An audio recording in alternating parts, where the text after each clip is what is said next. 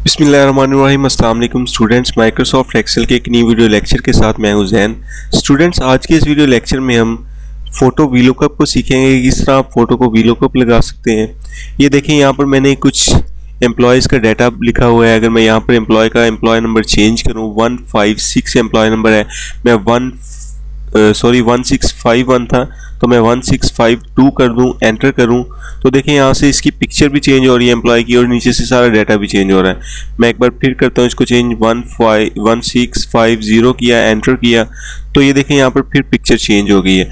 तो अगर आप चाहते हैं कि आप ये ये सीख लें कि किस तरह हम फ़ोटो पर वीकुल वीलो कप वाला फार्मूला लगाते हैं तो इस वीडियो को लास्ट तक वॉच कीजिएगा।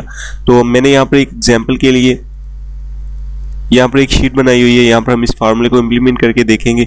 ये हमारा डाटा है और यहाँ पर मैं चाह रहा हूँ कि जो पिक्चर सामने शो हो, उस पर वी कप लग जाए।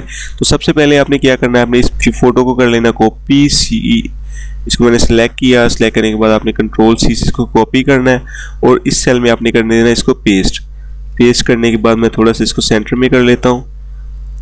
ये देखें ये सेंटर में हो गई है पिक्चर तो इस पिक्चर में ये जो कार है, इसका जो नेम लिखा हुआ है, इसका कार वन लिखा है, आपने यहाँ पर कार वन लिख लेना है। इसके बाद आपने इस पिक्चर को सिलेक्ट करना है। सिलेक्ट करने के बाद आपने जाना है यहाँ से फार्मूलाज में। फार्मूलाज में से ये देखें, यहाँ पर डिफाइन नेम्स आ रहा है, इस पर आप क्लिक करें। तो यहाँ पर देखें नेम मैनेजर आएगा। आपने नेम मैनेजर पर क्लिक करना है। जैसे ही आप नेम मैनेजर पर क्लिक करेंगे तो आपके पास नेम मैनेजर ओपन हो जाएगा। यहाँ से आपने न्यू के बटन पर क्लिक करना है।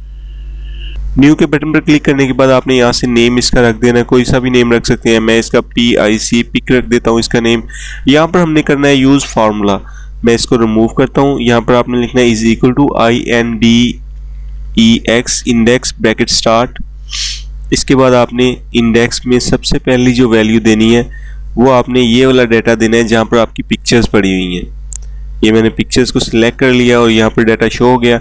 इसके बाद आपने लिखना है comma M A T C H match bracket start match के बाद आपने करना है ये वाला सेल सेलेक्ट उसके बाद कोमा उसके बाद आपने वो वैल्यू सेलेक्ट करनी है जहाँ से आप इस नेम वाली वैल्यू को मैच करना चाह रहे हैं, वो मेरी वैल्यू है ये वाली। मैंने इसको सेलेक्ट किया। इसके बाद कॉमा इसके बाद आपने ज़ीरो लिखना है। ज़ीरो का मतलब होता है एग्जैक्ट मैच इसके बाद आपने ब्रैकेट्स को क्लोज कर देना है। दो ब्रैकेट्स लिखनी है आपने क्लोज वाली और ओके okay कर देना है। तो ये देखें, यहाँ पर हमने एक नेम मैनेजर में अपना इंटरसेक्शन ऑपरेटर को ऑन कर लिया है। अब मैं इसको क्लोज कर देता हूँ। इसके बाद आपने क्या करना है? आपने ये जो पिक्चर है, इसको सिलेक्ट करना है। सिलेक्ट करने के बाद यहाँ से फार्मूला बार में जाना है। यहाँ पर आपने लिखना है is equal to P I C जो हमने नेम लिखा हुआ था उसका पिक लिखकर आपने करना है एंटर जैसे ही आप एंटर करेंगे तो यहाँ से आपके पास पिक्चर थोड़ी सी चेंज हो गई है, एक फ्रेम सा बन गया है। तो अब हमारा यहाँ पर फार्मूला जो है वी लुकअप वाला वो इम्प्लीमेंट होगा इंडेक्स मैच का हमने यहाँ पर फार्मूला यूज़ किया है। ये देखिए यहाँ से अगर मैं नेम चेंज करता हूँ F L O W E R flower enter करता हूँ तो देखें यहाँ पर फ्लावर्स आ गए हैं। अगर मैं यहाँ पर लिखता हूँ B A B Y baby enter करता हूँ तो ये देखें बेबी की पिक्चर आ गई है यहाँ पर। और मैं सी ए आर टू करके एंटर करता हूँ तो यहाँ पर कार टू की पिक्चर आ गई है। तो इस तरह आप वी लुकअप का फार्मूला जो है, वो इंडेक्स मैच की मदद से आप पिक्चर्स पर इम्प्लीमेंट कर सकते हैं।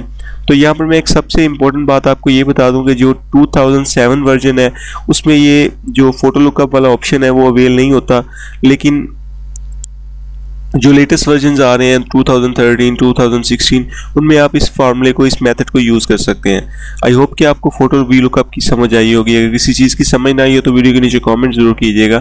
Thanks for watching this video